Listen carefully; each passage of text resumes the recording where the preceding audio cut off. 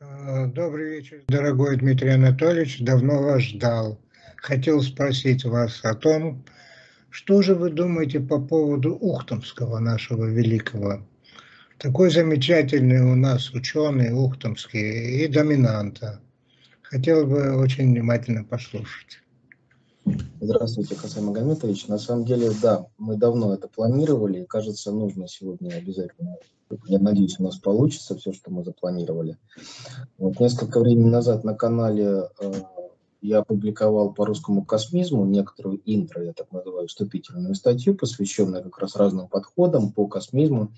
И вот после Ухтомского, конечно, я очень хочу рассказать о Сухово-Кобылине, потому что это уникальный персонаж – мы его знаем как драматурга, но на самом деле более это философ, причем очень глубинный, глубокий философ. И когда мы говорим о фантастике, современной фантастике, очень много из того, что мы сейчас понимаем под фантастикой, описывал он, только он описывал это немножко в другом восприятии, в другом понимании, довольно любопытно. Ну а сегодня, конечно, э, наш э, герой, э, о котором мы уже давно планировали сделать передачу, посвящен ну вот, э, и не только этому роду, но и территории, с которой я тоже напрямую связан. Для меня, конечно, это очень близко, потому что это моя родовая территория. Вот, нет, нет, нет, имеется в виду только территория. Итак, э, князья Ухтомские. Ухтомские, ударение на первый слог, это княжеский род, это Рюриковичи. А на самом деле это ответвление князей Белозерских, э, которые идут от князей Ростовских.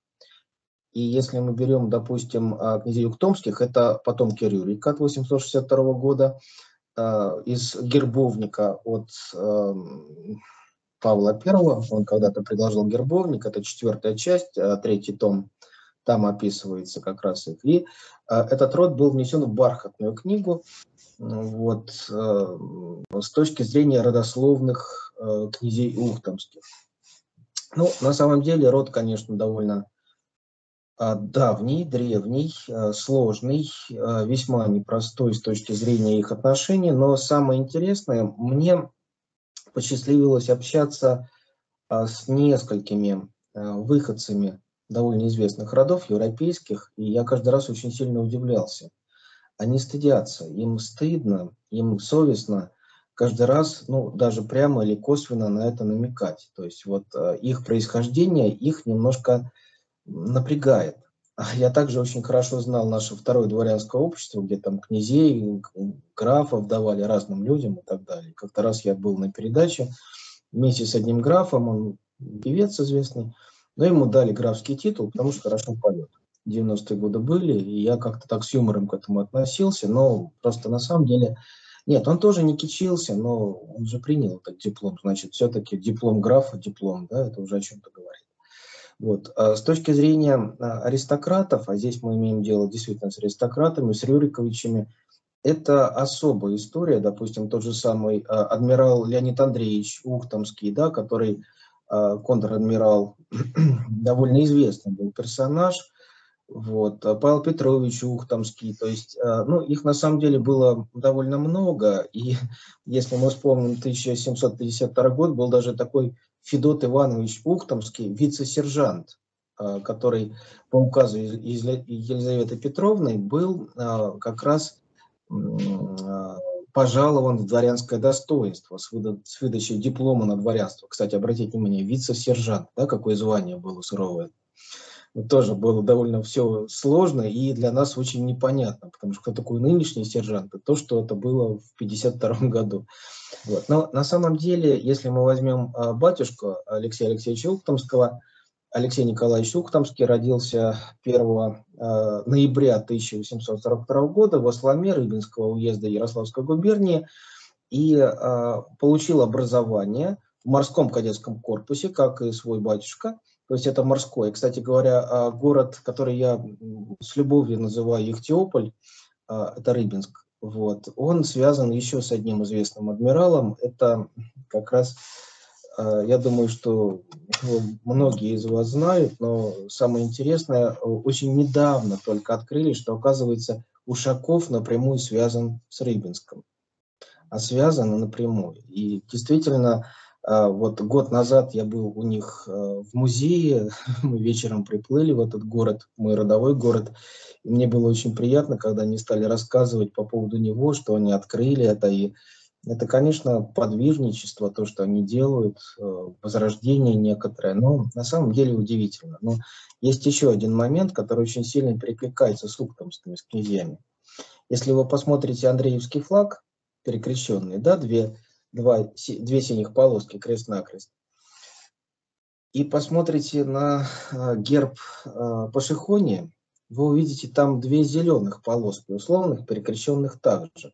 И вот получается так, что эти два символа оказались очень взаимосвязаны с флотом, с русским флотом, хотя, конечно, Рыбинск, да, и Пашихони, который находится весьма дальше, если мы помним наши северные анекдоты когда-то про Чукчи и так далее, до революции, это были анекдоты про пашихонцев.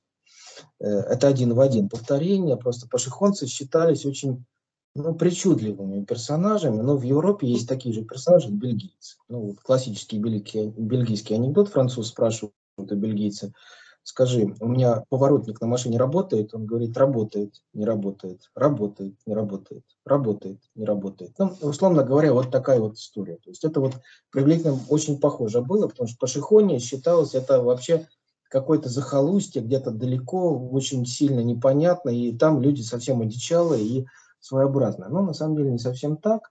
И возвращаясь непосредственно к батюшке Алексея Алексеевича, он служил на Балтийском флоте, ну, немного недолго, ушел в чине Мичмана. Ну, Мичман э, нынешний – это младший лейтенант. То есть не нужно считать, что Мичман – это как бы минимальное звание без высшего образования. Тогда немножко по-другому все это обозначало. Это маленькая звездочка на погонах. Вот. И, соответственно, получив э, часть имения отца в Рыбинском Пашхонском уездах, он становится землевладельцем. Ну и вот родовая усадьба в Исламе, откуда все это пошло. И там он, в принципе, был мировым посредником, депутатом дворянства, членом дворянской опеки, почетным мировым судьей, даже был орден святой, эм, святого Владимира четвертой степени полученным. Но дело немножко не в том, просто иногда э, хороший военный бывает не очень удачным землевладельцем. Такое бывает часто, и отец у него как-то не сильно в этом плане преуспел. Ну, а сам а, а, наш с вами сегодняшний герой появился на свет 13 июня 1875 года в родовом селе Вослома Рыбинского уезда, в родовом поместье князей Ухтомских, повторюсь, Рюриковича.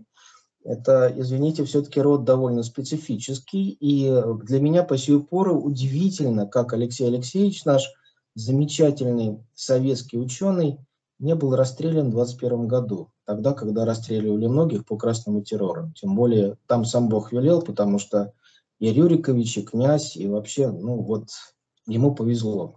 Была такая история. Николая Степановича Гумилева расстреляли, да, по, по доносу, да, там, конечно, он сам постарался в некотором плане, ну, я бы сказал,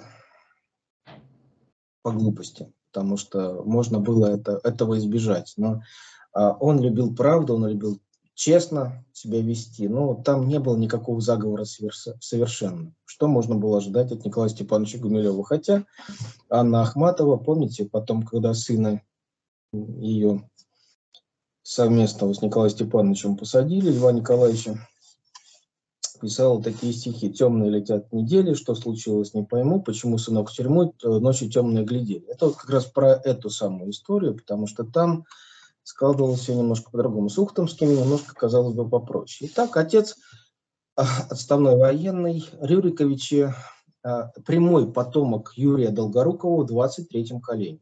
Если брать буквально, то есть все-таки, наверное, это довольно интересно. А мать урожденная Анфимова, ну и было несколько сиблингов, братья и сестры, сестры Мария и Елизавета и старший сын Александр. А впоследствии он стал епископом, епископ Андрей. Ну, потом в 1937 году, разумеется, его расстреляли. Была такая история. Но э, два сына э, ухтомских в этом роду стали священниками. На самом деле это тоже было очень важно, потому что князья, которые немножко стали уходить чуть-чуть в другую сферу. Это было очень интересно, и о Ухтомском, наверное, я отдельную лекцию прочитаю о его личной жизни. Я всегда стараюсь очень мало рассказывать о личной жизни людей, потому что как будто бы ты вторгаешься куда-то в очень нехорошее. Но, с другой стороны, здесь есть очень важный момент. Ухтомский сам по себе был очень непростым человеком. И его личная жизнь – это пример для того, чтобы другие в, определенном степени, в определенной степени э, делали некоторые выводы, как правильно или как они считают целесообразным вести себя в своей жизни. Мне даже а, Алексей Алексеевич напоминает больше моего любимого Сирена Киркегора. Помните, да, вот была меня отдельная лекция Сирена Киркегора «Романтический рыцарь экзистенциализма». Датчане его боготворят, но я не уверен, что они его читают. Боготворить не, не, не, не означает, что читать. Вот. А биография его весьма специфическая. И когда-то э, с Александром Пушным на радио «Маяк» мы как раз обсуждали эту тему по поводу Киркегора, вот когда я рассказывал о биографиях разных психологов, и мы немножко там ну, шутили в отношении него, потому что человек, который условно сбежал со своей собственной свадьбы. Ну, не со свадьбы он сбежал, но там история своеобразная. Алексей Алексеевич бежал от свадьбы очень долго и, слава богу, не добежал. Вот. Но дело немножко в другом. Это был его выбор, его выбор очень серьезный и очень непростой. Я даже больше мог сказать, потому что в его биографии, вот есть у него несколько книг, э, несколько из них я купил в историческом музее э, города Рыбинска, вот как раз. И э, удивительно, количество экземпляров выпущенных этих книг у меня на самом деле уникальные экземпляры. Я этим горжусь, потому что то количество экземпляров, которые там указаны, означает одно, что это автоматический раритет. Хотя, с другой стороны, страшно, потому что Ухтомского у нас печатают довольно мало. И когда-то моя э, ярославская коллега Ольга Ефимовна Хабарова, когда упоминала Ухтомского, я приехал 20 лет назад к ней на конференцию в Ярославль и сказал, что мы все уважаем Ольгу Ефимовну, но я вынужден констатировать то, что она занимается эзотерикой вы видели лицо, как она вспылила, как она посмотрела на меня так вот. А я потом объяснил, что на самом деле эзотерика – это знание не для всех, просто этих книг нигде не достать. Эзотерика не означает мистика. Это означает только то, что этих книг нигде не, найди, не найти. И она ссылается на то, что в принципе является раритетом. И тогда я говорил о том, что эти книжки нужно распространить, чтобы люди их читали. На самом деле это важно. Знание, оно должно обязательно передаваться. Вот два дня назад на э, выступлении перед студентами я рассказывал даже, был такой опыт еще в Берлине, мы как-то познакомились с одним моим коллегой, ну как коллегой там, ну, э, издателем, условно говоря, издателем, дальше не буду И как-то вот разговаривали, что нужно, наверное, опубликовать и Геббельса тоже. И он решил это сделать. И у нас в стране был жуткий шум на эту тему. Как можно вообще, это святотатство, это вообще вред, это вред, это нельзя, это категорически нельзя. И было очень много таких вот серьезных проблем.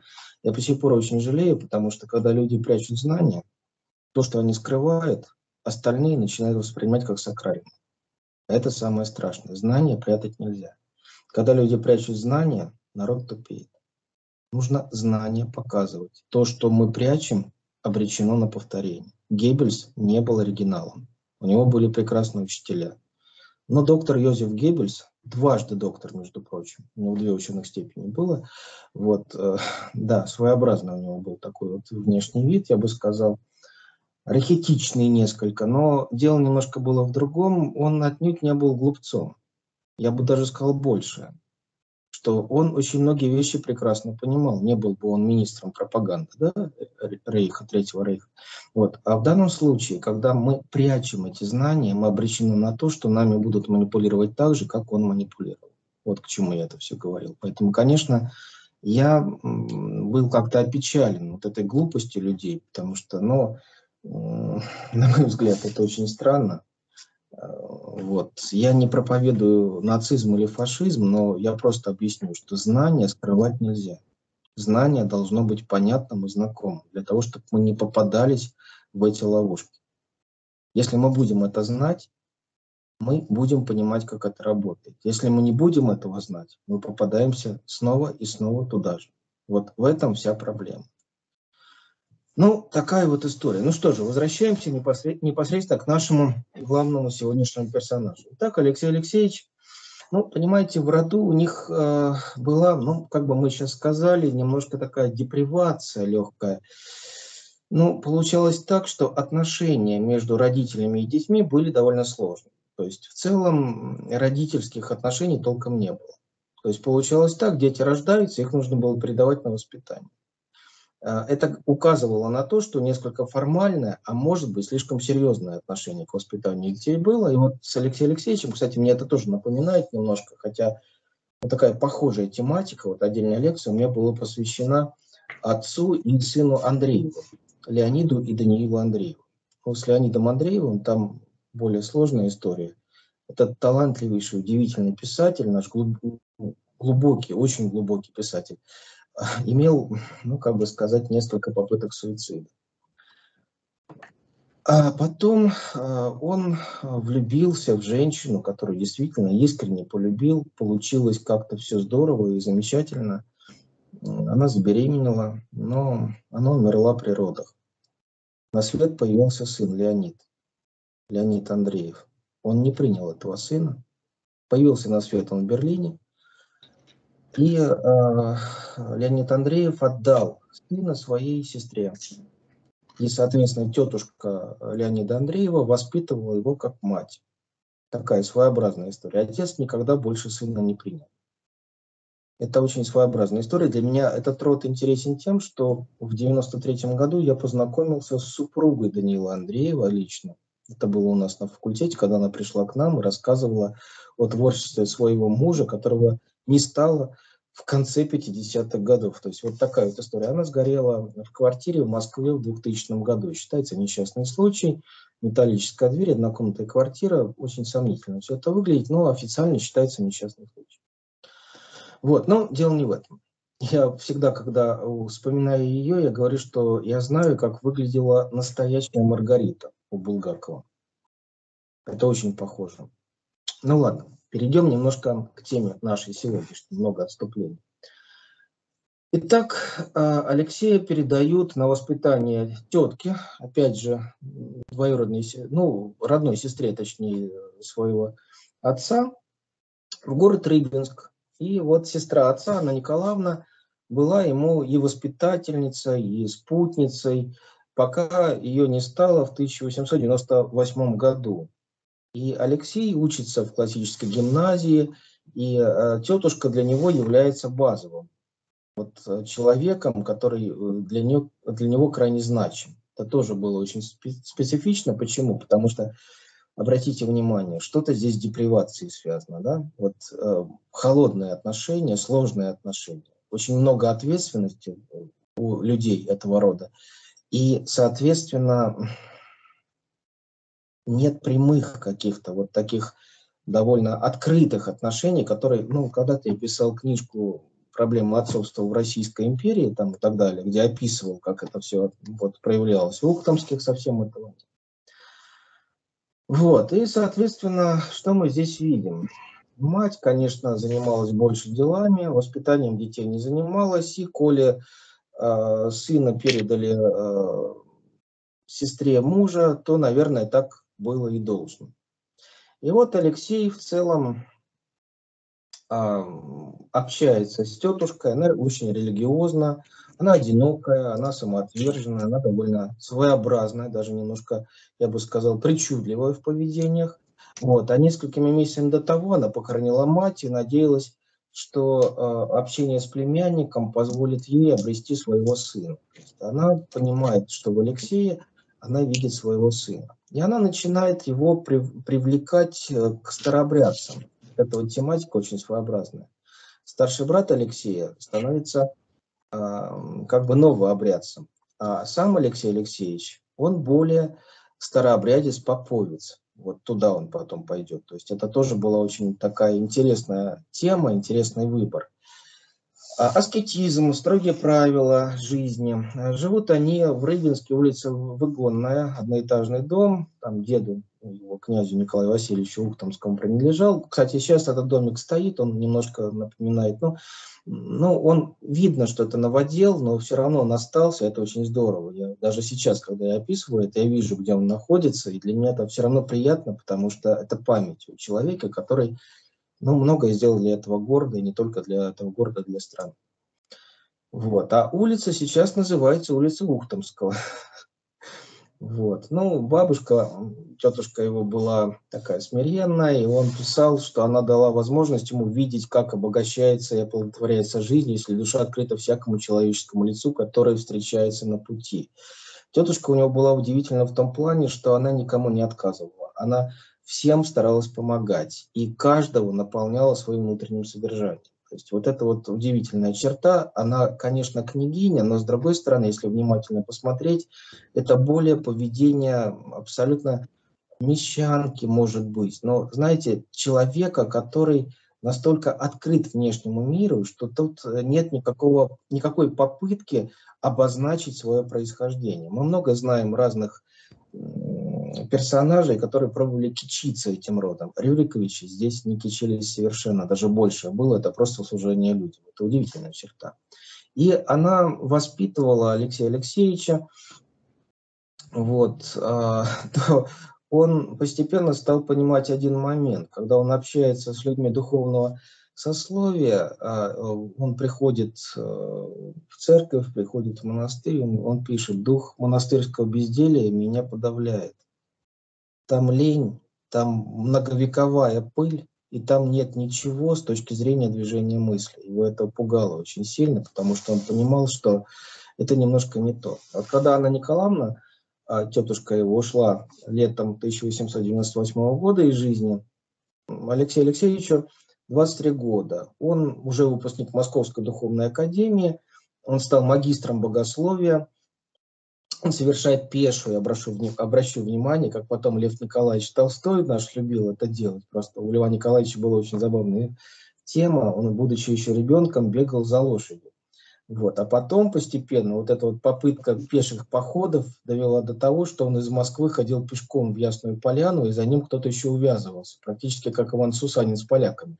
Вот. Но это было очень интересно, потому что для него это было очень важно. Такой, знаете, вариант, когда ты идешь пешком, и ты беседуешь с людьми, которые идут рядом с тобой. Для Льва Николаевича это было что-то особое. Вот а, Алексей Алексеевич в Оптину пустынь пешком приходит, потом в Иосифа монастырь подмосковный. Вот. А старший брат в это время уже пострижен в монахи, он получает имя Андрея, и убеждает его идти в духовную учебную службу. Но Алексей Алексеевич что-то сдерживает. Он говорит, что для него старообрядчество оказывается гораздо более близким, нежели чем новообрядчество. Ну, мы помним реформы Никона, патриарха Никона. И когда студентам объясняю, кто такой патриарх Никон, всегда говорю, что был еще патриарх Кеннон.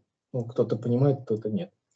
Но есть просто две фирмы, да, которые занимались классически настоящими фотоаппаратами. Это Nikon и Canon. Вот. Я не знаю, почему взяли как раз Nikon, но просто на самом деле, да, это реформа при э, Алексее Михайловиче, которая случилась, и довольно тяжелая история. То есть даже среди братьев случилось некоторое разделение. Один стал новообрядцем, второй старообрядцем. Алексей Алексеевич э, в стенах обители э, провел полгода, но осознал, что монастырская жизнь ему не нравится, и нужно продолжать образование. Там все замшелое, там безделие, там, условно говоря, люди, которые убегают от жизни. И Алексею Алексеевичу это не сильно нравилось. Он так писал, затхлая, пропитанная вековой пылью, идущая уже который век из кельи в келью атмосфера прозябания, растительной жизни на лоне серой русской природы и серого русского армяка, атмосфера, которой дышали поколение за поколением, одурманивает, оглушает, душит. И нужно становиться слово сказать он стал слово сказать. То есть он позволил себе говорить слова. А Алексей Алексеевич стал монахом в миру. Мне на самом деле в этом плане очень повезло. Я двоих таких знаю. Один из них, кстати, это сын довольно известного актера, который стал историком. Ныне сейчас он заведует кафедрой в моем родном, у меня их четыре родных моих университета, вот в одном из моих родных университетов.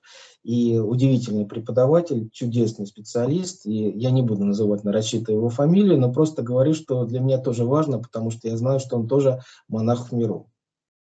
Вот. Ну, такая история тоже есть. То есть он как историк, э, как доцент, я надеюсь, сейчас уже, может быть, он докторскую защищает, вот параллельно пока не интересовался, но где-то в ближайшее время он будет доктором исторических наук, и дай бог, потому что, ну, удивительный специалист, и для меня весьма отрадно было всегда слушать его лекции, я всегда радовался. Для меня это было какое-то счастье. Ну, мое историческое образование – это вообще удовольствие. Вот, я просто там стал магистром истории, но дело немножко в другом. Вот. А вот а, аскетизм науки для Ухтомского был довольно важен, поэтому что он делает дальше? Он поступает в Санкт-Петербургский университет, а, так как туда не принимают лиц с духовным образованием, он все-таки магистр богословия, он выбирает такой путь, поступает на Восточный факультет, а через год переводится как раз туда, и его принимают. Ну, такой ход был своеобразный, но все-таки получилось. И получается так, что религия и наука в его понимании начинают немножко не согласовываться. Дальше в советский период это будет еще более заметно, потому что мы Ухтомского знаем как в первую очередь советского ученого, но совсем не богослов. Вот. Но уже э, в шестнадцатом году он пишет, но травма предчувствует многие беды а, Господе. Это и Юнг чувствовал еще в 13 году, когда описывал, когда, его, когда он открыл свои вот эти вот прекрасные, в кавычках, периоды, связанные с возрастными кризисами мужскими. А, он описывал, что я вижу реки крови, я вижу множество смертей, бессмысленных и беспощадных. Это меня пугает, потому что мясо, человеческое мясо и так далее. 14 год, август месяц, все началось. Он предчувствовал за год. Вот Ухтомский чувствовал также начало 17 года. Знаете, в этом плане я немножко, наверное, могу в некотором плане завидовать тем людям, которые ну, чуть-чуть не дожили до февральской революции 17 года, потому что они остались в прежней России. Это очень важно. У нас было два таких ученых, замечательных психолога, которые были с этим связаны. Но о них мы попозже с вами поговорим. Но здесь сейчас важно то, что Ухтомский сначала становится студентом, потом преподавателем. Безусловно, в родной город Рыбинск, Ихтиополь, как я его всегда называю, он приезжает. Кстати, чем этот город э, чудесный, замечательный. И если кто-то из вас там был, вы понимаете, о чем я говорю. Сейчас он похорошел, он настолько изменился, и слава богу, не только по поводу э, старой, эм, как бы сказать, традиции на эм, вывесках писать с дореволюционным шрифтом, это тоже, конечно, забавно, но этот город, э, он более глубинный. Он, я бы сказал, был предан в советское время. Да, он был и Андроповым и так далее когда-то, переименовывали его, но он сохранил в себе особое очарование. Этот город был очень богатым в XIX веке, а, действительно весьма богатым. Если вам доводилось плыть по Волге мимо города Рыбинска, наверняка вы любовались и собором, и мостом. И на самом деле я всегда, когда мы проплываем мимо, я, я стою во фронте. На самом деле я, я преклоняюсь перед этим городом, я его очень люблю. Вот. Но это просто, наверное, мое отношение к этой земле, к э, этому городу и так далее. Но если брать Рыбинск, сам по себе того периода, Ухтомский туда приезжает, безусловно, часто. Он пишет следующее. «Мне бы хотелось, чтобы вы благословили меня собраться в Рыбинск». В июне 15 года он пишет. Э, Платоновой Варваре Александровне, той самой, с которой будет очень непростые отношения на протяжении многих лет. Это практически как у Сирены Киркегора с его возлюбленной, которой никогда он к себе не допустит, и она уже, будучи замужем за Шубертом, смешная да, фамилия, вот, будет продолжать читать его произведения вместе с мужем, и мало того, после смерти он ну, все свое скудное имущество ей перепишет. Ну, господи, да что там Киркегор мог переписать? Ну, ну что с этого несчастного философа датского можно было взять? Ну, там, копейки. Хотя, конечно, если брать его произведения, да, оказались, они давали доход. Это правда было, но это было гораздо позже. Вот, э, недавно, когда я читал лекцию про, про Фалька, Йоханнеса Хальца, вот э, такой, знаете, очень интересный персонаж. Я, правда, буду перезаписывать эту лекцию, потому что это своеобразно. Его называют Моцартом 20 века венским. И в этом есть особый смысл. Э, вот он немножко тоже напоминает эту биографию. Ну, давайте так. На самом деле, каждый век а, дает новые одежды, каждый век дает новые какие-то задачи, каждый век дает новые названия, но люди остаются прежними. Наша задача по возможности просто видеть суть, но не пытаться обманываться на вывеске. Вот Хенцель, допустим, это туда же, он же Фалька, да? И вот э, когда мы говорим о Ухтомском, та же самая история. Вот в плане Варвары Александровны Платоновой удивительная переписка, тяжелая, сложная. Ух, господи, как я не люблю читать чужие переписки, но только там ты можешь понять в реальности, что это за человек. Э, глубинный, глубокий, удивительный человек. Вот. Но э, Ухтомского напрягает Петербург, мрачный, грязный, мокрый, болеющий вечно город. И особенно в период Первой мировой войны, когда все это началось. И он понимал, что скоро будет катастрофа, и он говорил, что я предчувствую многие обеды, и мне ужасно тяжело за наш народ. В 15 году он пишет. За тот простой коренной народ, который сейчас молчаливо отдает своих сыновей на убой, но мне не тяжело за общество, за все эти правящие классы, интеллигенцию, которым по делам и мука их своеобразные слова. В наше время, наверное, что-то поменялось, по крайней мере, мы видим смысл в том, что сейчас происходит. Там смысла не было. Ура-патриотизм, который быстро сменился немножко другим. Сейчас мы хотя бы понимаем, ради чего и что происходит. Наверное, здесь мы немножко отличаемся. А, в 15 году Ухтомский пешком дошел до родового гнезда в Осломе, и когда-то такая довольно процветающая княжеская усадьба теперь у нее были новые хозяева, она была в запустении, даже колодна одна была разрушена и так далее. То есть он увидел то, что прежнее его родовое гнездо, в принципе, брошено абсолютно.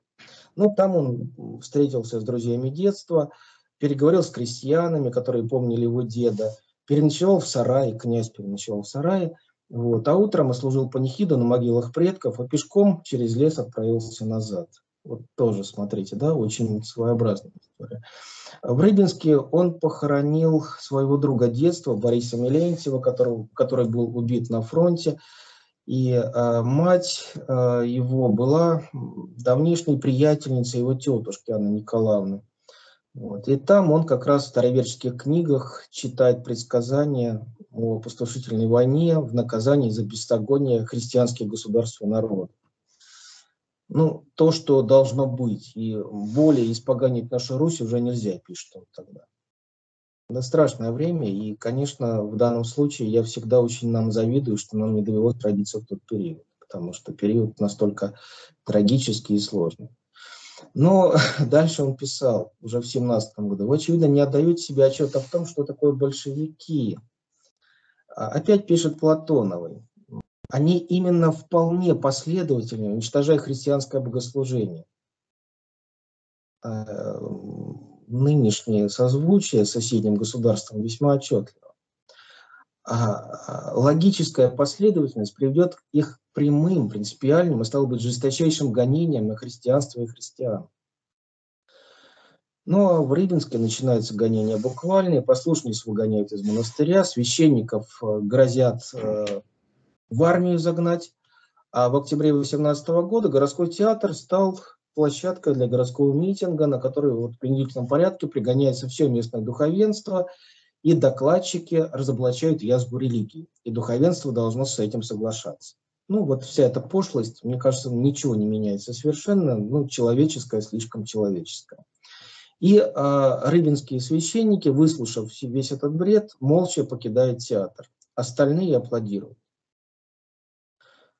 Согласитесь, что-то знакомое из того, что сейчас происходит где-то рядом.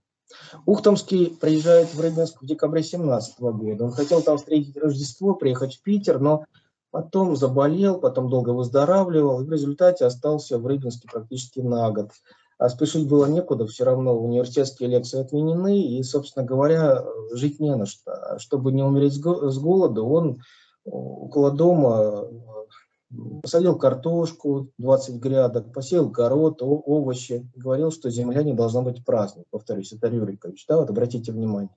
Если тут что-то связанное с каким-то особым происхождением, ничего подобного. То есть это монах по сути своей, да, вот что в Ухтомском, конечно, очень сильно сразу импонирует, вы нигде в его упоминаниях, ни в одной из его книг не встретите того, что он будет кичиться своими предками. Ни разу этого не было. Это просто особое отношение к людям, особое отношение к земле. И э, что он пишет? Жить было голодно, смотреть вокруг противно, настроение в народе вообще тяжелое, пришибленное, тупое. август 18 года. Духа покаяния нет, до сих пор нет прозрения на свои преступления у народа, а значит нет и просвета надежды на избавление. Голодающие измученные бабы в очередях похабничают, ругаются, кощунствуют, церкви пустые. Все это говорит, что кризиса болезни нет, но лучшего ждать не приходится. Вот такая вот история. Русь перестала быть святой, она покрыта нечистотой из головы до ног, она стала блудницей, она бесновата, опозорена и изгашена. Ну вот э, далее становится более специфическая история Ухтомского в 2020 году, красный террор. Вот почему я говорю, что самое опасное время.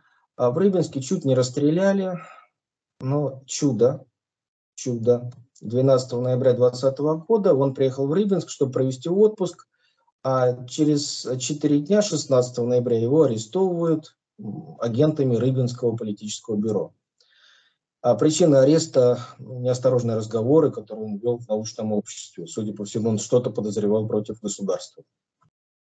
А может быть, дворянское происхождение, может быть, то, что он Рюрикович, то, что он князь, сказывалось. А еще было более серьезно, это действительно, брата Алексея уже арестовали, епископ Андрей на тот момент. А, и Алексей Алексеевича спасло то, что в его кармане обнаруживают мандат депутата Петроградского совета. Только это помогает в 2020 году. В 30-м не помогло бы совсем. Вот, ну, все еще впереди. Сам Ухтомский когда-то писал своей Варваре Платоновой следующее. Очень я счастливо, по милости Божией, отделался. В сущности, только стечение обстоятельств, маленькая бумажка от Петросовета, бывшая в кармане, остановила предприятие ухлопать меня еще в Рыбинск ухлопать.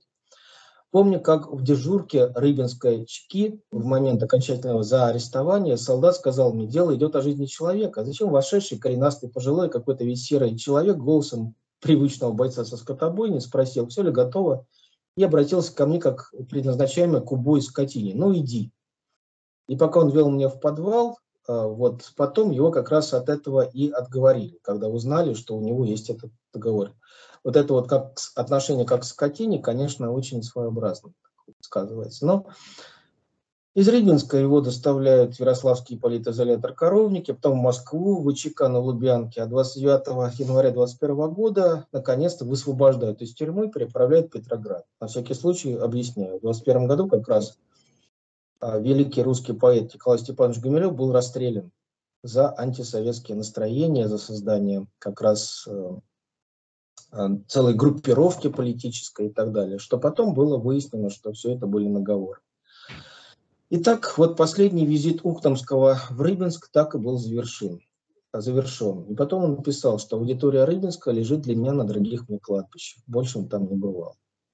Практически. Летом 26 года он мог еще раз приехать в Рыбинск, но он ответил так, когда его пригласили туда приехать. Вот эти слова меня очень сильно, ну, как бы сказать, напрягают. Я, хотя мне это очень, очень похоже, очень знакомо, созвучно. Я не очень ясно представляю себе ту рыбинскую аудиторию, перед которой мне пришлось бы сейчас говорить. Аудитория Рыбинска, с которой мне хотелось бы говорить, частью лежит на дорогих мне кладбищах, частью завалена большинством, настроенным для меня чуждо, частью уже не народилась. Поэтому пока я не уверен в том, чтобы было полезно говорить до конца. Об этом говорит мне сам принцип доминанта. Господствующее настроение найдет возможность питаться и насчет чужих для себя импульсов, пока не живет себя в своем собственном самоутверждении мягко, интеллигентно, но очень точно. Пока эти люди там существуют, мне там делать нечего. А прежних людей уже нет. На самом деле э, Алексей Алексеевич в данном случае для этого города остался культовым. И несколько времени назад я, конечно, принимал участие в конференции, посвященной им с точки зрения доминанта в том числе. Но вот на самом деле сам по себе персонаж очень и очень, ну, не то что противоречивый и сложный, но очень интересный, потому что это человек, которого я бы назвал э, подвижником, религиозным подвижником. Ну, давайте еще несколько фактов дам перед тем, как перейдем к доминате. Хасам Магомедович, я уже завершаю. Я опять разговорился, вот поэтому я говорю, что есть у меня такая черта. Да-да-да. Вот. Просто когда мне интересно, я уже теряю время. Вот это вот э, плохо. Значит, в 22 году, после смерти Веденского, Ухтомский э, становится заведующим кафедрой физиологии животных в Петроградском университете. он выступает с лекциями, но параллельно с этим он староста Яноверческой церкви старообрядческой. И мало того, он еще пишет иконы, он живописец, а, он э, знает семь языков, а, он знаток политэкономии, то есть человек вообще ну, прежнего периода. И иконописец это все-таки о многом говорит, да, вот по уровню. Прошу обратить внимание, каких мы еще знаем известных, ну, по поводу Рыбинска, наверняка вы знаете э, наш прекрасный замечательный фильм «12 стульев», там, где как раз вот начинается вся эта история, снимали как раз в Рыбинске все это дело. Вот, наверное, этот город знаком именно поэтому. Это речка Смородина, там та самая. Вот. По поводу речки Смородина, даже психология героев русских сказок, когда я рассказывал о речке Смородине, которая типа Стикса, на самом деле в русских сказках является, Вот, я всегда видел именно эту речку, этот мост, и как-то вот, нет, ну, город, конечно, удивительный. Кстати, даже в одной моей лекции, которая была посвящена психологии героев, э, психологии русского трикстера, поручика Ржевского, там как раз на фоне именно мой Рыбинск. И меня потом спрашивали, что же означает этот фон, там, где нет ни крестов, ничего, но что-то там есть, наверное, он что-то задумал. Ну, в общем, когда меня спрашивают, а означает ли что-то ваша фамилия, она настоящая, я всегда говорю, решайте сами. Помучайтесь, вам будет легче. Вот. В данном случае я тоже не объяснял ничего, хотят, пускай додумывают и как угодно. Но это был Рыбинск, это было не просто так, потому что это тоже было связано сразу с несколькими биографиями очень интересными. Кстати, Рыбинск еще связан с кем? Во-первых, это Михалковы, и во-вторых, это на самом деле, помните, собака Баскервилей, а кто играл доктора Мортимера? Я не помню. Вот, вот тот самый замечательный персонаж, интеллигент такой вот удивительный, это был один из последних дворян, а, ну, которые получили дворянство до революции. Вот это было удивительно. А, и через несколько десятилетий а, уже внуки этих людей встретились снова на съемках фильма «Я шагаю по Москве», а потом и как раз «Собака Баскервиль». Вот это была удивительная история, просто его отец, господи, как же его фамилия, запамятовал я. Ай, ну ладно, в общем, любой может в интернете элементарно найти э, доктор Мортимер, собака Баскервиль, и сразу выйдет на эту фамилию. Его отец был директором Рыбинской гимназии мужской. И он получил, разумеется, а, как раз дворянство наследственное. Вот. Ну, а если мы берем табель о рангах, то это, условно говоря, Стеблов, Стеблов его фамилия. Вот. И, соответственно, э, это генерал-майор, если брать по табели о рангах. Тогда как-то сравниваем гражданские звания и военные. В наше время этого нет. Ну что, значит, а, далее, что же мы можем сказать о Алексее Алексеевиче? Не стало его 31 августа 1942 года в Ленинграде. Он планировал как раз а, выступать с лекциями по травматическому шоку в военной обстановке, но буквально за неделю до этого ну, вот, смерть его и застала такая вот история своеобразная. Но на самом деле, если мы говорим о нем, да, что еще я могу сказать, что я не сказал, то как-то 20-е годы, после этого я сразу к смерти пришел. Действительно член Академии наук, с 1935 года директор Института физиологии Ленинградского госуниверситета, руководитель электрофизиологической лаборатории Академии наук СССР, заведующий биологическим отделением Ленинградского университета, а с 1931 по 1938 год президент Ленинградского общества естествоиспытателей. Ну и еще преподавал, конечно, в институте Петра Францевича Лесговта, того самого, который занимался группами крови, о котором сегодня я уже в другой лекции рассказывал как раз. Петр Францевич сегодня весь день со мной рядом, поэтому мне очень приятно. Вот, сразу вижу его портрет. Вот. Ну и э, рабочий факультет Ленинградского университета, э, премия имени э, Ленина, в 1933 году член-корреспондент, 1935 действительно член Академии наук СССР, ну и так далее. А в 1941 году, безусловно, руководил исследованиями по поводу травматического шока. Вот. И э, доклад, который он не сделал, назывался «Система рефлексов в восходящем ряду». А за неделю не успел как-то в 1942 году, но В этот же период Хармс психиатрической больницы в этом же году как раз скончался тоже в Ленинграде, но только официально от голода. Ну, может быть и правильно, там как шизофреник скончался, но э, у него не было вариантов. Его могли расстрелять, либо он был шизофреником. Он выбрал шизофреник.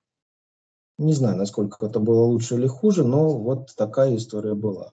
С Ухтомским гораздо все более интересно, я по сих пор не понимаю. Но было в Советском Союзе несколько знаковых фамилий, которые считались в определенной степени, ну, наверное, флагманами да, советского государства. Это, конечно, Капица, это, безусловно, Павлов, которому позволялись многие выходки, которые никому не позволялись. Даже Бехтереву не позволили. И когда в 27 году у него спросили, какой диагноз вы можете поставить Джугашвили, он сказал прогрессирующая паранойя. Ровно через неделю, когда он поехал из Ленинграда в Москву на конференцию, в Москве на второй день он умирает от инфлюенции, ну, будем говорить, в нынешних э, случаях ковида, да, на следующий день от ковида могут умереть?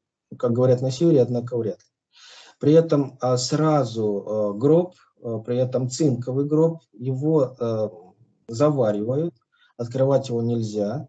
Когда привозят в Ленинград, э, хоронят, но при этом бетонируют, бетонируют э, место, где его захоронили, чтобы эксгумацию не проводили, а после этого начинается репрессия к его близким. И вот, Хасан Магомедович, в этом плане я очень, я даю вам такую небольшую ну, как бы сказать, э, большую просьбу. Я буду вам весьма благодарен, если вы немножко расскажете про Наталью Бехтереву, потому что вы были с ней знакомы, и я думаю, многим это будет очень интересно, потому что это тот самый род, и это очень рядом. И тем более она столкнулась с этим, еще будучи девочкой, а, как репрессированная, да, как дочь репрессированных э, разных персонажей. То есть, ну, ей повезло. Она была отличницей, она описывала свою биографию, что как-то вот более-менее повезло. Дай бог, конечно, но на самом деле очень здорово, что хотя бы род этот сохранился. Было здорово. И то, что сохранился род Кравцовых, который Выгодский, это тоже чудесно, замечательно, удивительно. Даже удивляешься, как это могло случиться так, потому что могло быть по-разному. Психологам отношение было слишком непростое. Ну, все-таки давайте теперь рассмотрим основные как бы, подходы Ухтомского. Да, умер он в возрасте 67 лет. В целом, ну, для того периода возраст был весьма преклонный. Для нашего времени это возраст довольно молодой, но все-таки вот э, что у него было, кроме всяких старческих болезней, нашли эмфизему легких, как у Книпер Чеховой, вот, нашли проблемы с сердцем и пищеводом, обострение рожестого воспаления ноги, он хромал, ему было как-то не слишком удобно ходить, но там было много всего, но он все время выполнял те обязанности, которые перед ним э, стояли, и это все получалось. Значит так, а теперь, пожалуй, более важные моменты, что же Алексей Алексеевич для нас с позиции психологии предложил. Ну, во-первых, это теория доминанты, это книжка доминанты. Да, есть у меня одна книжка, которую я очень ценю, которая является для меня очень важной. Называется она «Заслуженный собеседник». Это очень важная подсказка, и там, я всегда об этом говорю, каждый писатель заслуживает того читателя, который читает эту книгу. И каждый читатель заслуживает ту книгу, автора которого он читает. И оба они называются заслуженные собеседники, даже если между ними не только годы или э, столетия. Вот это на самом деле очень важно. Мы – это то, что мы читаем. Мы – это то, с кем мы общаемся. Мы – это то, что мы видим в других людях. И это на самом деле прекрасная идея, заслуженный собеседник. Мы заслуживаем своих собеседников а они заслуживают нас. Вот в этом глубинная мысль, которая мне очень импонирует. Конечно, мне нравится, это очень созвучно с Уильямом Джеймсом, который говорил, личность – это столько людей, со сколькими я общался в своей жизни. Допустим, но э, если вы в метро общались с разными людьми, не дай бог такую личность знать.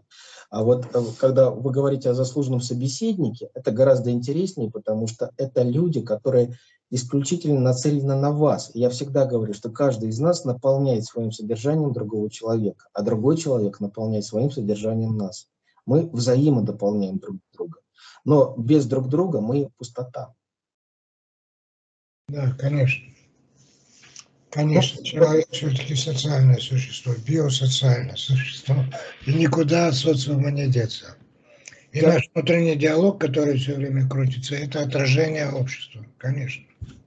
Александр прошу прощения, я обещал 15 минут, прошло 50, поэтому, ну, если, вот, э, мне было очень приятно, если бы вы что-то сейчас немножко дополнили, добавили, может быть, какие-то вопросы задали, а сейчас мы я бы хотел, чтобы прозвучало, вас попросить, чтобы прозвучало его образование Ухтомского. В области физиологии, медицины, э, в близких науках, э, потому что вы рассказывали о его э, биографии с человеческой стороны, с духовной стороны, а с образовательной стороны, вот мне бы хотелось, чтобы вы Э, хотя бы две минуты проговорили, чтобы мы понимали, участники нашего слушания, понимали, почему он доминантой занимался и почему он велик этой книжкой про доминанту и почему он такое сумел сделать. Ну, хотя бы начать с того, что человек, который прекрасно играет на скрипке и пишет иконы, все-таки уже интересен тем, что это особый человек да, что человек немножко другого плана. Человек, который знает семь языков, наверное, в наше время это уникум, но это не совсем так. Человек, который сокамерником читает лекции по физиологии, это уже интереснее. Да? Вот смотрите. А, а он обращал людей к знанию, когда его посадили, как раз 20 год, он обращал людей к знанию. То есть это служение, это бесконечное служение науке. И действительно, а, по поводу физиологии, да, есть такая особенность, но э, здесь а, очень важный момент, кстати, вот э, когда нашли его мертвым в квартире, это было 31 августа 42 года, а, руки скрещены на груди, в руках зажата псалтырь. Тоже интересно, то есть он до конца был в некотором плане довольно религиозным. Но все-таки физиолог, все-таки э, начнем, давайте начнем его научную карьеру и перечислим. 1898 год. Кандидат богословия. Кандидат богословия переведен на русский язык. Красный диплом по богословию. Это не кандидат наук. Красный диплом давал возможность ромбика, поплавка, так называемого. Поплавок с гербом. Это был всего лишь навсего ну, э, по табели о рангах на полторы ступени вверх он имел возможность идти дальше, нежели чем его однокурсники. Вот. А после этого, 12 год, приват-доцент.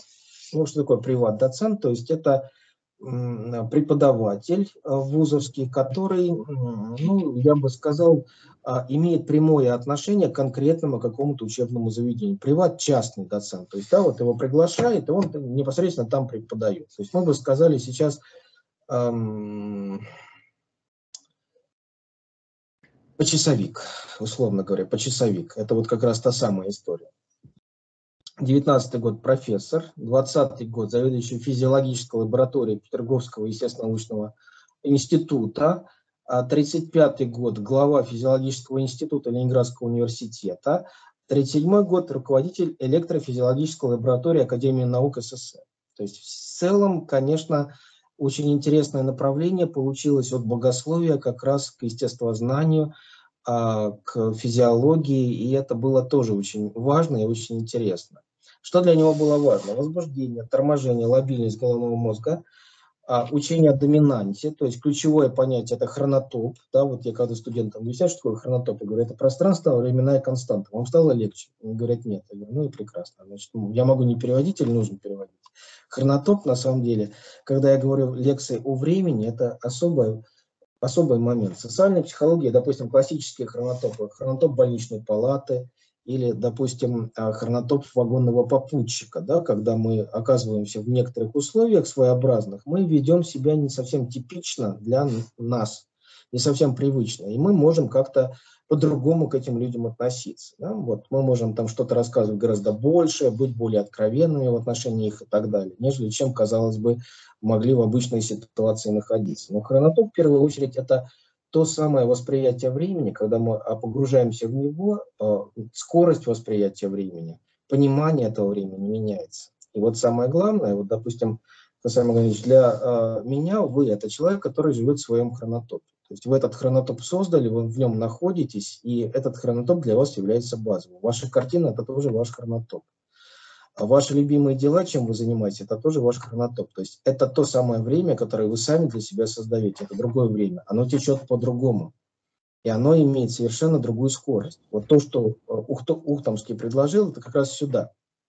То есть, а то есть любого человека свой хронотоп, да? Вот, даже несколько. Я больше могу сказать. Самое страшное, если мы лишим человека его любимого хронотопа.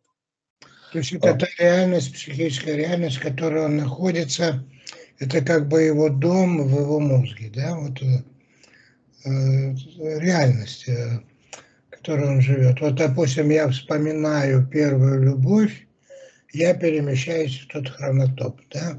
да. И мало того, вы черпаете оттуда ресурсы если они для вас важны. Но хронотопы бывают как положительные, так и отрицательные. Так это доминанта. Да, да, да, это все сюда, к доминанте. Доминанта началась очень своеобразного, довольно, я бы сказал, неприглядного эксперимента, когда исследовали, как э, ну, собака совершает акт дефекации. Если в это время, пока дефекация происходит, трогать лапу, то дефекация происходит быстрее. И вот эта идея, а, ну, я бы не стал трогать собаку, когда они занимаются этим Нет, делом. Я но... понимаю, то есть, э, если я иду по улице, например, это вопрос, если я иду по улице, и у меня болит нога, допустим, угу. иду прихрамывая, а если я в это время слушаю какую-то музыку, я иду на автомате. Да. То есть, когда мое внимание переключено а, как лапе, лапе собаки, то какой-то процесс идет уже более автоматично. Совершенно верно, да. То есть вот доминанта сама по себе, несмотря на то, что она очень проста, казалось бы, она помогает воспринимать ситуацию немножко по-иному. Но вот все-таки хронотоп сам по себе очень важен. Ухтомский говорил следующее. Ну, такое он говорил, может быть, с точки зрения психолога, мысль немножко крамольная психологии не существует. Э, возьмите несколько базовых хронотопов, которые для человека важны, и потом свяжите с любой психологической теорией. Вот вам и все. Сейчас, сейчас, секундочку, еще раз, еще раз. То есть, если у меня или у кого-то есть несколько э, в памяти, допустим, э, образов, которые вызывают у него погружение в те реальности, например, я любил, э, когда учился в школе, мечтать о том, что я буду летчиком. И вот я сейчас начну вспоминать, как я сидел за партой и мечтал, глядя в окно, скоро я закончу школу и пойду в летное училище, и я туда погружаюсь, э, в эту память. В этот момент там разворачивается та реальность времени, то есть я отсюда, где я сейчас нахожусь вместе с вами, туда переместился. Здесь я на мгновение как бы отключился на полсекунды, секунду. А там я как бы уже сижу а, и 10 минут об этом мечтаю, что поступлю в летное училище. И тут сосед мой по партии, Борька Тодоровский, говорит мне, ты что замечтался? Сейчас учительница придет. А, я дернулся, и вот пока я там находился в своих пам памятях, памятях, словно mm-hmm. говоря, я был в хронотопе, я был в хронотопе.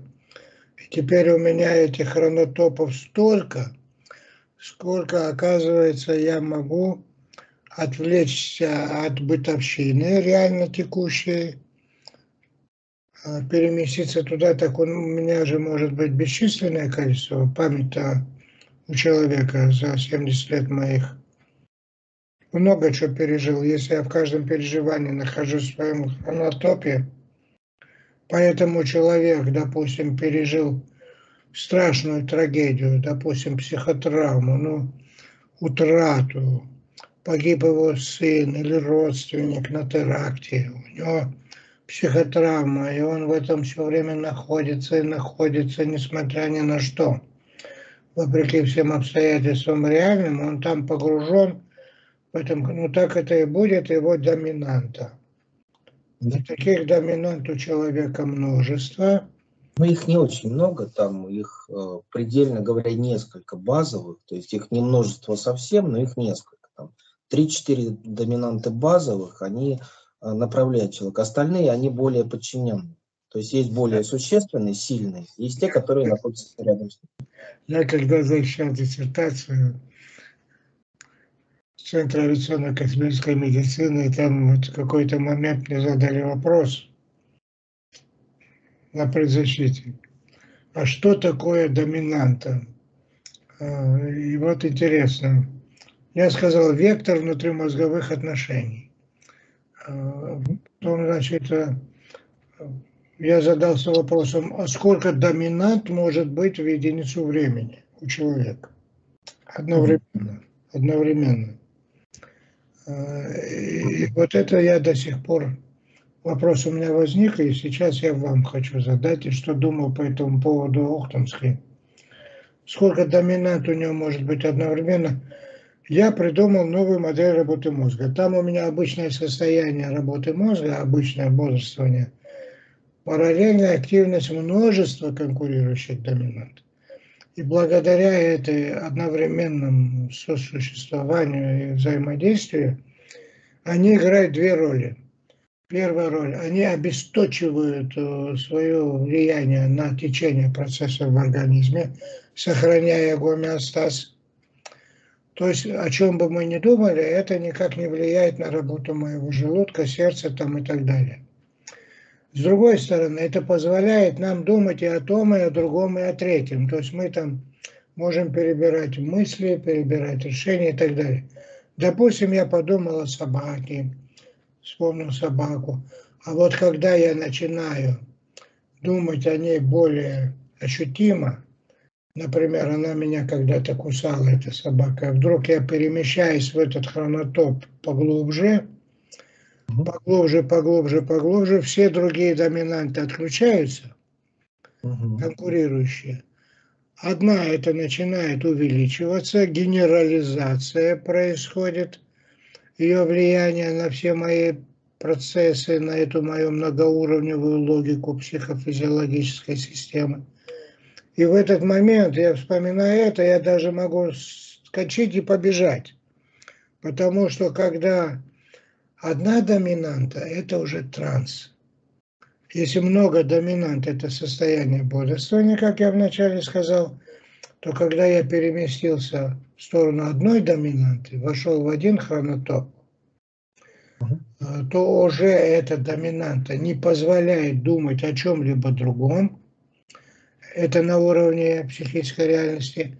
А на уровне физиологии она уже влияет на течение физиологических процессов. То есть это уже некий вектор такой жесткий, и все внутренние процессы, система организуется в соответствии с этой установкой, которая в этой доминанте. То есть по существу моей модели работы мозга четыре базовых состояния стационарных. Первое состояние обычное бодрствование множество конкурирующих доминант – Второе состояние базовое – транс, когда каждый следующий момент одна доминанта.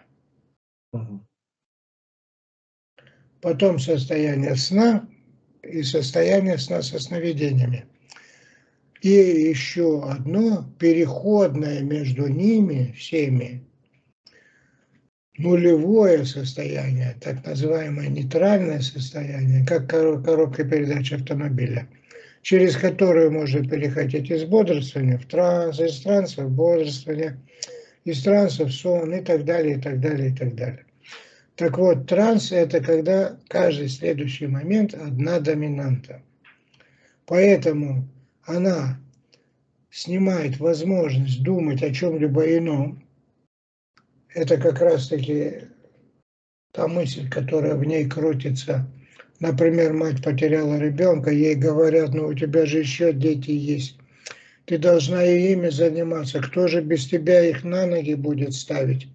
Она не может ни о чем сейчас другом думать. У нее транс. То есть по существу одна только мысль, одна доминанта, связанная с этим. Э, и она мощная, потому что она свою энергетику с конкурирующими доминантами, как бодрствование, не растеривает. А она именно в энергетическом смысле эм, генерализованная. Ну, вот я не знаю, сейчас своими словами пытался рассказать, что бывает случаи, когда одна доминанта у человека в мозге присутствует, актуально. А бывают случаи, когда множество. И вот когда множество, это, а, это уже обычно бодрствование.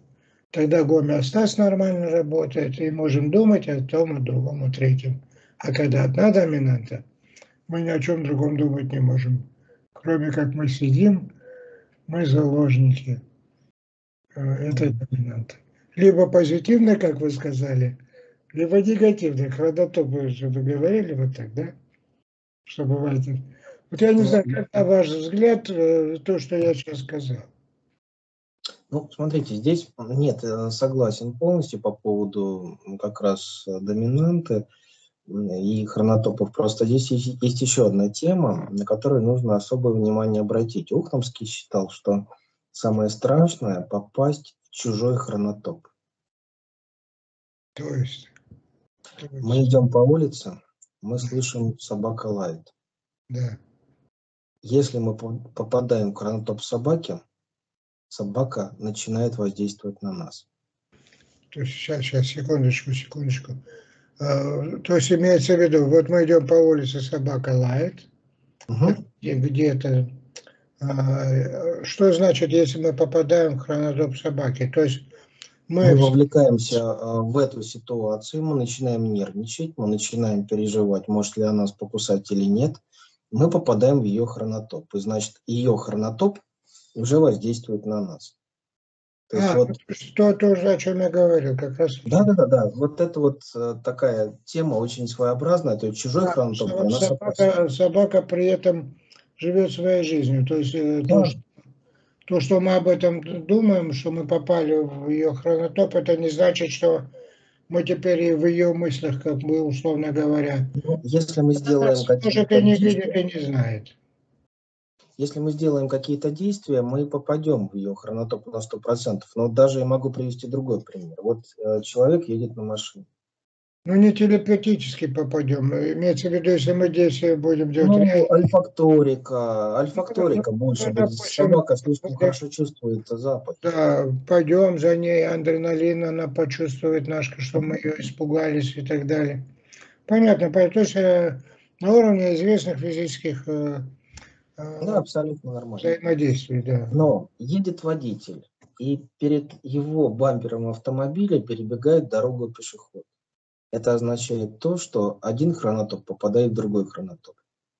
И не всегда эти хронотопы могут друг с другом правильно сочетаться. Какой-то хронотоп должен доминировать. Поэтому если мы видим, что человек находится в каком-то своем хронотопе, мы не должны в него попадать по возможности или хотя бы понимать, как он работает. То есть это вот тоже такая весьма своеобразная тема, но она очень важная. Хотя с другой стороны, если мы говорим допустим, о театральном выступлении, мы попадаем в хронотоп общего состояния, допустим, под конец. Это всегда очень иногда интересно для меня, как для социального психолога, наблюдать, как обычно начинает в конце аплодировать. И обычно актерам это страшно нравится, выходить на бис и так далее, даже когда ну, признаться, ну, не очень сильно довольны выступлением их и прочее, но все равно они как-то купаются в овациях и так далее. Когда слушаешь, когда идут эти волны оваций, когда люди заражаются, циркуляция начинается эмоциональная, и вот эти аплодисменты традиционно идут несколько минут, там, ну, по-разному это все бывает, но тоже очень интересно. Вот он пошел единый хронотоп.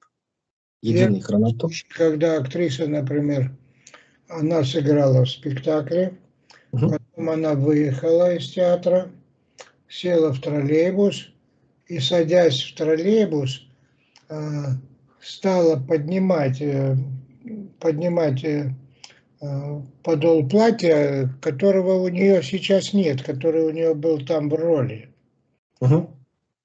То есть она продолжает жить в этой роли, она еще не вышла из этой роли и продолжает и движения делать те же самые. Да. Поэтому войти в роль э, для актера очень важно, сняв э, инерцию психологическую предыдущего состояния, чтобы перейти в роль.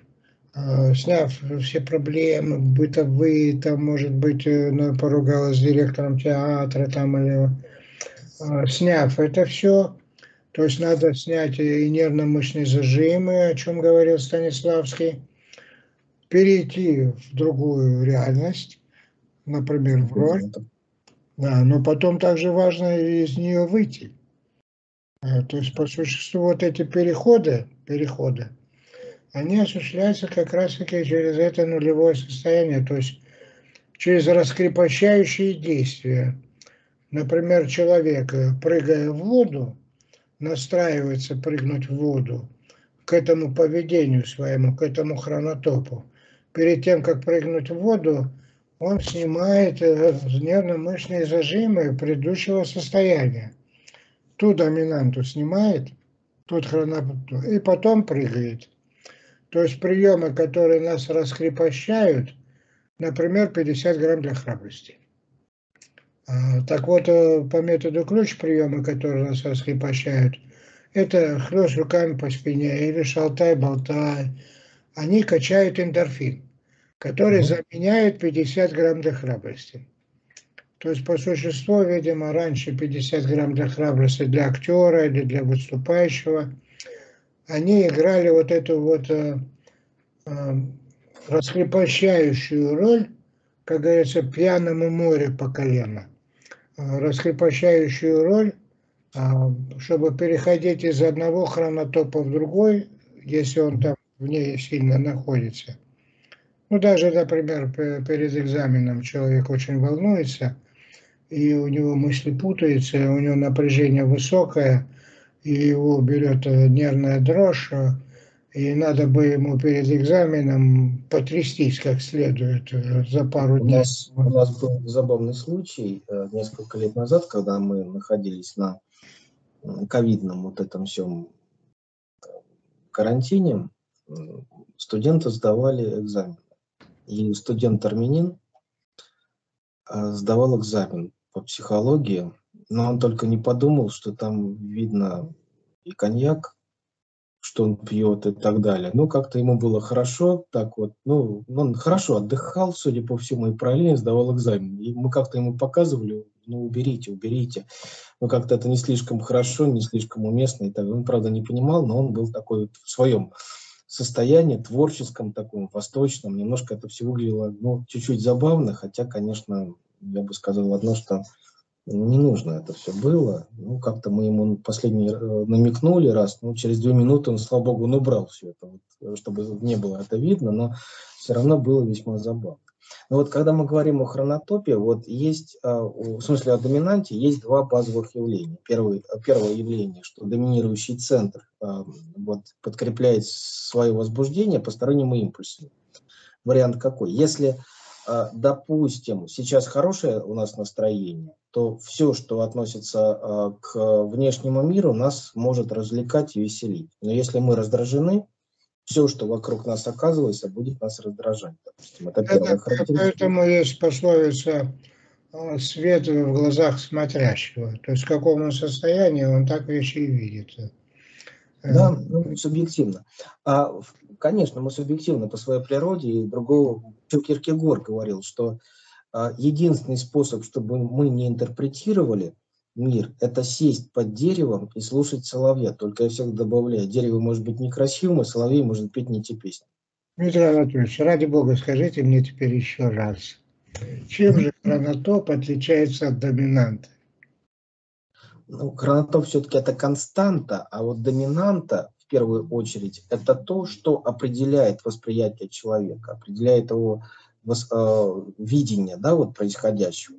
Все-таки э, восприятие времени это одно, а доминанта то, что управляет. Ну, если на языке психологии это незавершенный гештальт, можно еще так сказать. То есть это незавершенный гештальт, который стремится к завершению.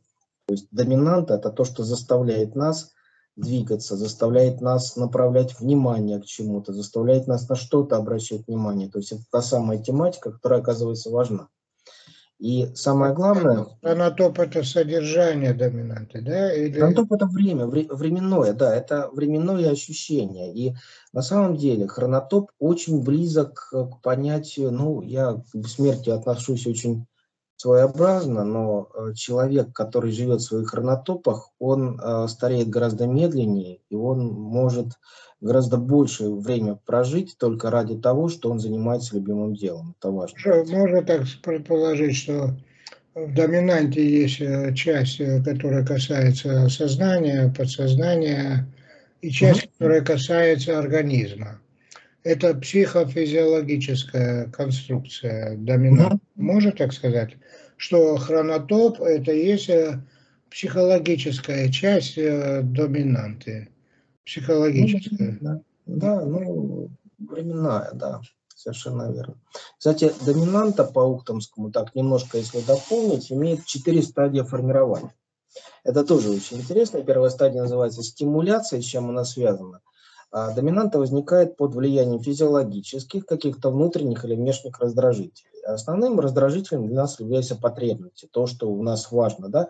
Потребности вызывают импульсы с точки зрения нервных центров, запускают стресс, запускают нашу деятельность. Ради чего мы делаем? То есть стимуляция. Первое появление а, как раз а, доминанта – это стимуляция. Второе – это условный рефлекс. Стадия условного рефлекса, ну, поисковое поведение классическое, если мы берем теорию мотивации, да, то есть это то, что для нас оказывается наиболее, наиболее интересно. Ну, допустим, если подросток обижен на родителей, то в отсутствии родителей ну, он будет находить кого-то другого виноватым в его истории личной, там, жизни там, и прочим остальным. То есть нужно будет находить какие-то другие варианты.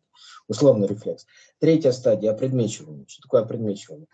Здесь э, связь э, очень важная между предметами, и определенной доминанты. Когда мы понимаем, что именно этот предмет, предмет является для нас э, доминирующим, да, то, что вызывает у нас как раз вот это вот движение. И четвертое разрешение доминанты, когда мы ее реализуем. Допустим, если у нас есть обида, мы должны ее каким-то образом отреагировать, реализовать. То есть мы включаем некие механизмы, э, которые эту доминанту могут либо включить, либо затормозить. Вот это вот доминанта оказывается важным. То есть это может быть обида, какие-то яркие эмоции, да, это может быть радость, это может быть удовольствие, это может быть даже ну, экстаз какой-то вот, э, от э, хорошего какого-то музыкального произведения, от книги, когда человек получает удовольствие. Вот эти вот доминанты, оказываются, тоже очень важны. А как они разрешаются? Вот доминанта должна обязательно каким-то образом себя постепенно а, а, решать. Да? Есть несколько вариаций разрешения доминанта. Первое – это ослабление доминанта. Ну, в чем она состоит? А, ну, допустим, мы ожидаем события, которое должно случиться. А ожидание гораздо страшнее того, что есть на самом деле. Да? Мы всегда говорим, не так страшен черт, как его малюют. Вот. А, и это очень похоже. Или, допустим, мы можем раз, на кого-то разозлиться, но мы не будем буквально это выражать, а можем, ну вот помним 70-е годы, когда э, надувные э, фигуры начальников выпускали японцы, допустим, да, и можно было зайти в отдельную комнату и начальника побить, допустим, да, чтобы никто не видел, но это снимало, да, вот это ослабление доминанта происходило. Можно сделать ритуально. В психологии есть так называемые письма прощения, которые можно написать с благодарностью в отношении человека и прочее. Это тоже как некий способ а, разрешения этой доминанты, которая важна. Доминанту от нее нужно освобождаться. Выговаривание, выговаривание то же самое, автописьмо. Выговаривание, проговаривание, эмоциональное реагирование. Да, да, да, конечно, совершенно верно. Второе – это прямой запрет. А, что это такое? Мы запрещаем себе думать о чем-то, делать что-то, и Ухтомский говорил, что если мы это используем, э, вот подобный прием, появляется конфликт. Конфликт между тем, что я хочу, и тем, что мне этого нельзя. Отсюда э, случается сбой нервных процессов и невроза. Стресс, да, конечно. Конфликт. А третье – это действия, которые мы переводим в автоматизм. Ну, с чем это связано? Ну вот э, автоматически, допустим, военный, э, когда видит другого военного, вот, ну, нужно отдавать честь, условно говоря, как один из вариантов. Да, это, в принципе, вполне логично. То есть подчиняться. Спортсмен, который подчиняется тренеру, он обязан это делать, по-другому не получится. Да?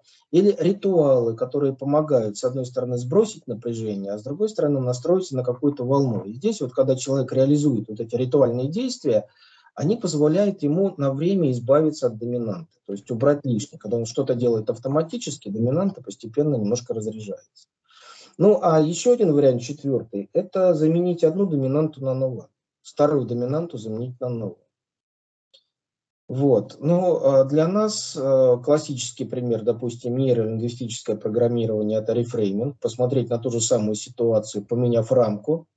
Или, допустим, не думать о плохом, но думать о хорошем. Хотя, конечно, когда плохие мысли, думать о хорошем не сильно получается, доминанта все равно преобладает некая. Но можно всегда попробовать себя переключить. Я всегда говорю, что в любом действии, которое мы делаем, мы можем немножко найти что-то положительное. Мы всегда чему-то учимся.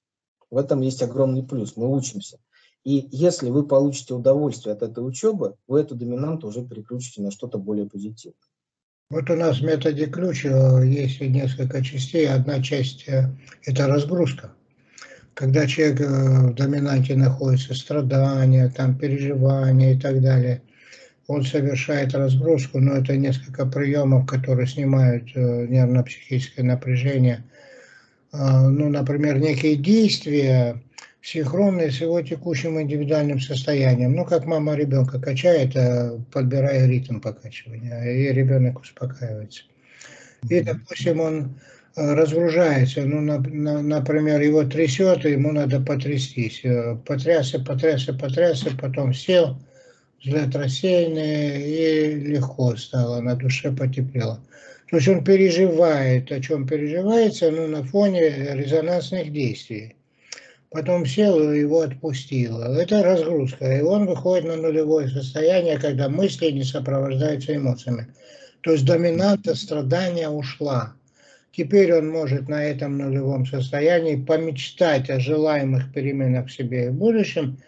И это мечтание, как психологическая работа, которую он делает, автоматически формирует доминанту психофизиологическую. То есть, когда в нулевом состоянии человек совершает некую работу, когда он в этой нирване думает о чем-либо, как он будет действовать в тех или иных ситуациях и так далее, он уже попадает в поток.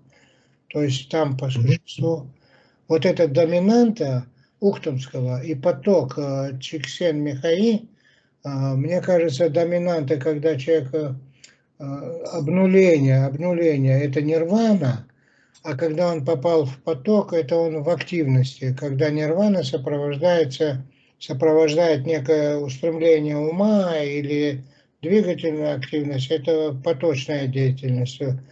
Сейчас а, я еще раз э, скажу.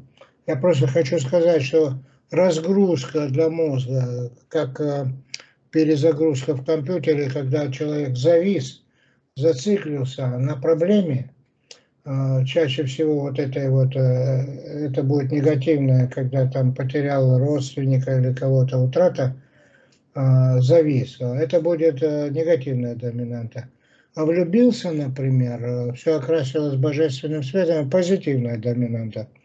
А он ни о чем другом думать не может, все время только о любимой, все время только... Это тоже доминанта, правда?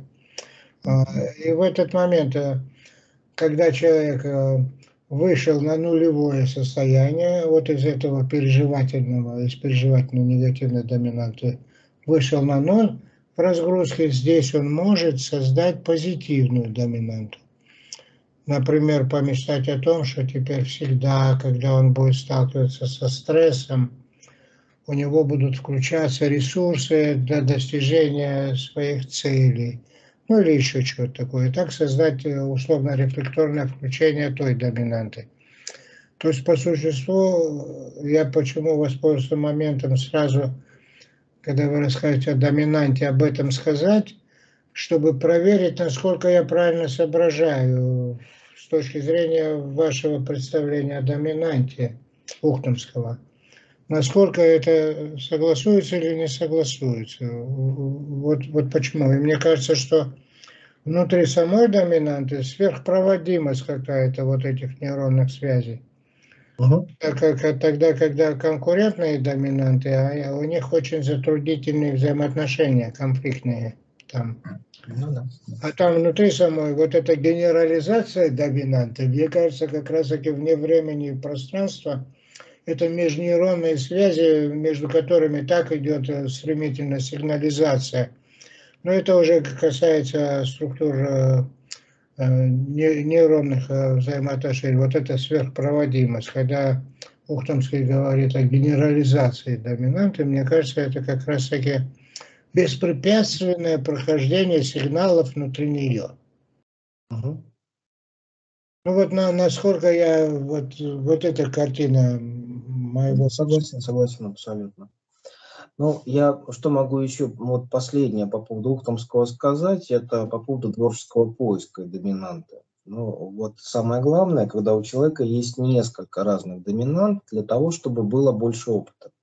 Когда наличествует одна доминанта, человек немножко может быть односторонним в той или иной степени. Хотя, конечно, есть параноики, для которых базовая доминанта является существенной, а остальные незначительные. Но здесь важно получать больше опыта, то есть иметь а, ну, как минимум несколько разных доминант, которые могут в некотором плане помогать. Во-вторых, осознавать эти доминанты для того, чтобы понимать, какая доминанта нами в той или иной степени движет. Это бывает очень важно, мы не всегда это можем понимать в должной степени. Иногда бывает эмоциональная реакция, а, и мы должны их контролировать. Вот сегодня, когда мы говорили с Джакартой как раз, вот с Индонезией, как раз я вспоминал, был такой Бинсфельд, это демонолог, епископ 16 э, века. Вот он когда-то человеческие пороки описывал и связывал их э, с демонами. Какие демоны? На самом деле ничего не поменялось, и все то же самое. Допустим, сатана, гнев, допустим, да, ну, ну вот гневливость, это есть вот действительно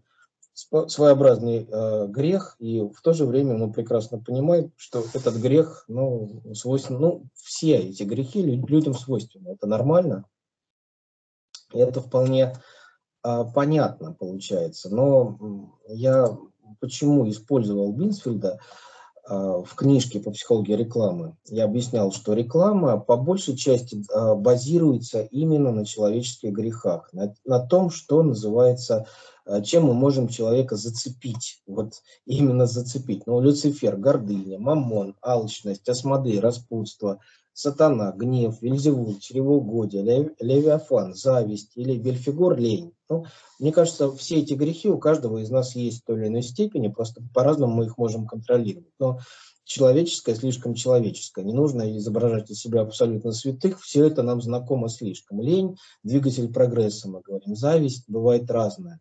И сегодня, когда мы говорили как раз вот по поводу языка, вот, и различий, допустим, индонезийского и русского языка, допустим, что такое злорадство, да, это вот как раз очень интересная особенность, оказывается, у них есть такая вот черта своеобразная, ну, как это взгляд со стороны, может быть, и нет просто, это их особый взгляд, там, чревоугодие, допустим, да, и так далее, то есть все эти моменты, они в любом случае будут в той или иной степени присутствовать. Ну и последнее, что нужно свои доминанты подпис, а, подпитывать с точки зрения творческого процесса, то есть в некотором плане давать им больше а, возможностей для развития. Ну что это может быть?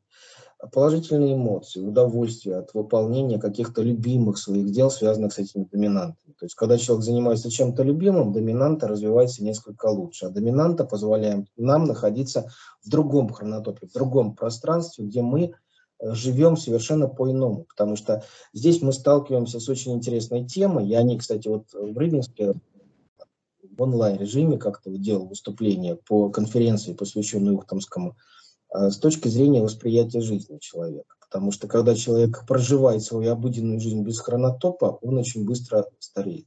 Когда человек занимается любимым делом, находясь в этом хронотопе, это позволяет ему совсем по-иному воспринимать и свою жизнь, и то, что он делает, и находиться в более продуктивном, более позитивном состоянии, и в результате физически и психологически гораздо реже сдавать себя, нежели чем вот бывает, когда человек находится в каких-то других состояниях.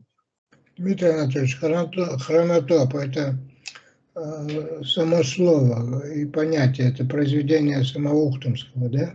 Да, да. Оно вообще есть э, где-то в словарях, в Википедии, Конечно. там, да? Конечно. Ну, вот э, с точки зрения описания времени, да, если мы берем буквально хронос и топос, да, вот э, описание времени, но это очень важно, потому что э, я считаю, когда мы говорим о возрасте человека, минимум несколько хронотопов быть должен для того, чтобы человек был продуктивен, счастлив. Э, русские говорят, сел на своего конька, условно говоря. Да? Когда человек занимается чем-то любимым, это и есть хронотоп. Да, это именно туда. И как только он садится на этого конька, удержать его бывает сложно. А вот когда человек ко мне пришел, например, и пока он не выговорится, он ничего не слышит. У него боль в душе. Он, он пока вот не расскажет свою боль, он ничего не слышит. Поэтому, видимо, люди, которые больны, которые страдают, а они выговариваются доктору, психотерапевту или психологу, и надо их внимательно выслушать, потому что пока он не выговорится, он не обнулится. Он не освободится от своего хронотопа или доминанты. Очищение такое, да? Да, потому что пока, там, пока он заполнен этим, туда ничего не помещается, ни хорошего, ни плохого нового, пока он свое не выдаст. А, поэтому мы, как психологи или психотерапевты, вынуждены выслушивать. Он выговаривается, а мы загружаемся. Отсюда возникает э, у специалистов э, выгорание, потому что врач, например, должен выслушивать в день да. огромное количество больных, э, негативных вот этих вот иногда хочется сказать ему, ну закройте рот наконец, ну ты послушай, тебе нужно сделать то-то, то-то, то-то. А он же и хотел бы выслушать, но не может, потому что пока он не выговорится, у него вот эта доминанта работает, которая должна вот наконец-то обнулиться.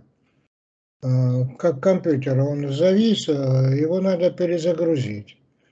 А чтобы перезагрузить, надо выключить на время. То есть он должен на ноль выйти, то есть он должен выговориться. А вот это проблема, потому что есть люди в этом смысле для других людей токсичнее.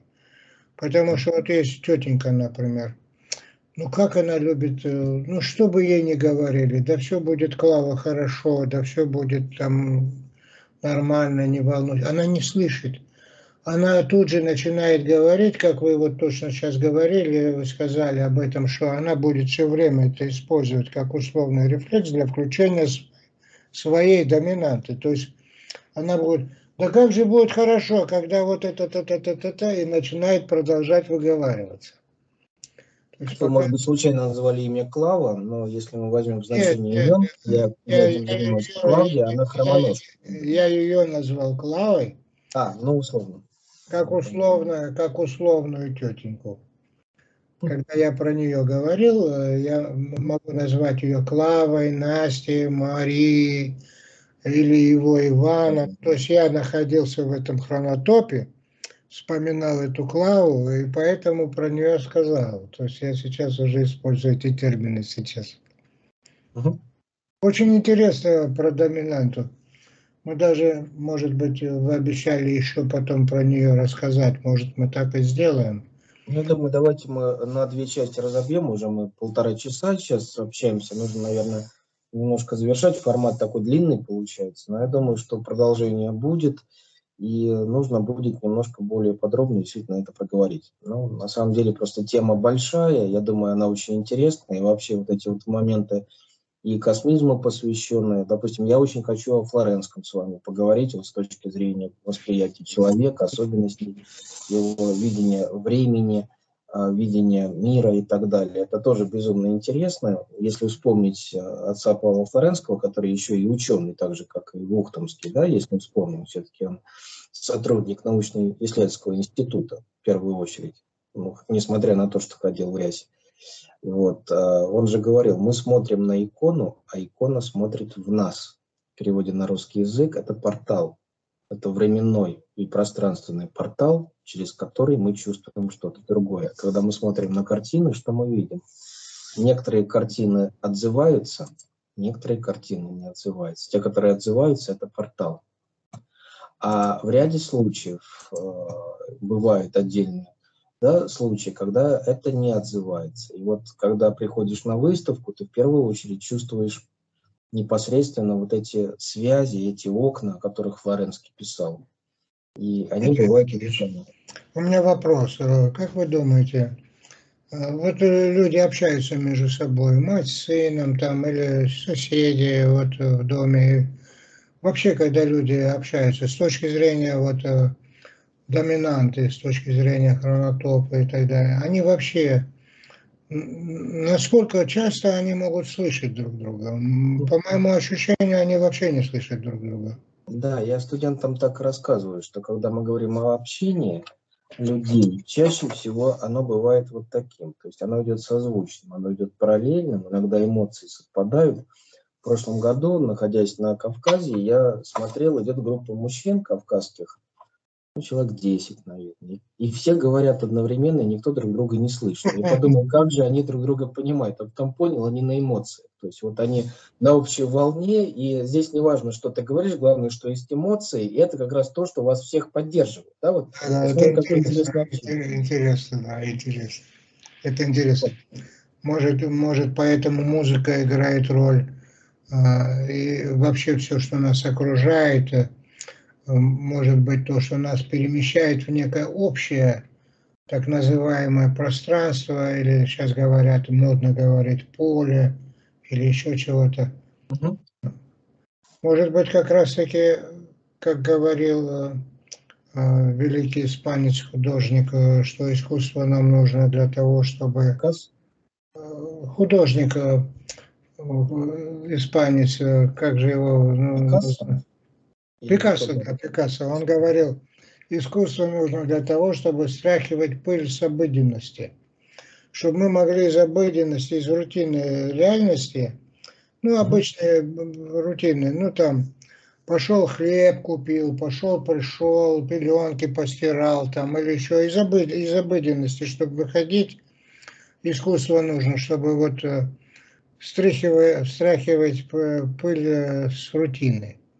То есть мне, мне кажется, что вот это вот э, очень у него точное было правильное выражение, потому что если мы действительно опустимся на бытовщину, вот бытовщину, план выживания, план выживания, что нам надо кушать, э, э, гладить брюки, вешать белье в шифонере, вот забивать гвоздик, менять стекло, на окне, если она разбилась, если это все бытовщину, если люди будут жить только в этой бытовщине, я думаю, они с ума сойдут, потому что это такая механи, механистическая простота, повторяемая, повторяемая простота, а человек по природе творец.